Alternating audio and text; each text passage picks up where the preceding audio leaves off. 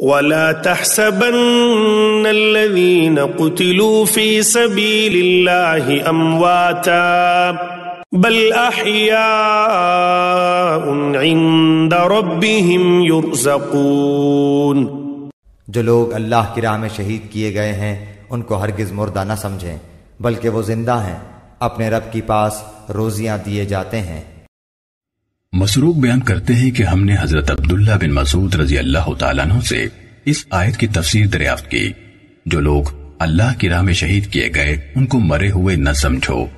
वो अपने रब के यहाँ ज़िंदा हैं, उनको रिस्क दिया जाता है। हज़रत इबन मसूद रज़ी अल्लाह तु ने फरमाया, हमने भी इसके बारे में रसूलुल्लाह सल्लल्लाहु अलैहि वसल्लम से दरियाफ्त किया था। आपने फरमाया, उनकी रूहें सब्ज परिंदों के अंदर रहती हैं।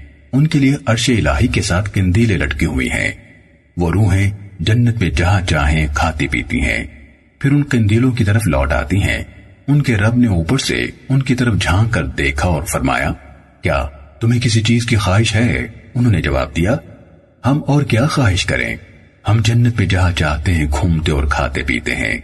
अल्लाह ने तीन बार ऐसा किया, यानी झाँक कर देखा और पूछा। जब उन्होंने देखा कि उनको छोड़ा नहीं जाएगा उनसे सवाल होता रहेगा। तो उन्होंने कहा, ऐ हमारे रब, हम ये चाहते हैं कि हमारी रूहों को हमारे जिस्मों में लौटा दिया जाए। यहाँ तक कि हम दोबारा तेरी राह में शहीद किए जाएँ। जब अल्लाह ताला ये देखेगा कि उनको कोई हाजत नहीं तो उनको छोड़ दिया जाएगा। सही मुस्लिम, हदीस नंबर चार हज़ार आठ सौ पचासी।